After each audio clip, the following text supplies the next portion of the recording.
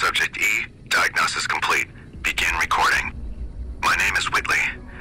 I'm a researcher at Adams Air Force Base. Until recently, I was in charge of the Duraframe reinforcement project for the combat model Eyebots. Eyebot Duraframe Subject E is both the prototype and the last functional model in this test group. I was prepared to make several significant upgrades to the machines. However, as the project was canceled and all Duraframe assets are being diverted to Hellfire Armor, I am sending this model to the Navarro outpost. If you're listening to this log from one of our Enclave outposts in Chicago, give this unit whatever repairs it needs so it can.